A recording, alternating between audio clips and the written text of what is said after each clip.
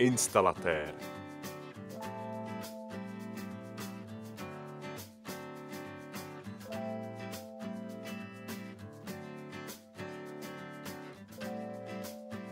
Absolventi se uplatní v povolání instalatér a topenář na typových pozicích montéra vnitřního rozvodu vody a kanalizace, topenáře, montéra vnitřního rozvodu plynu a zařízení.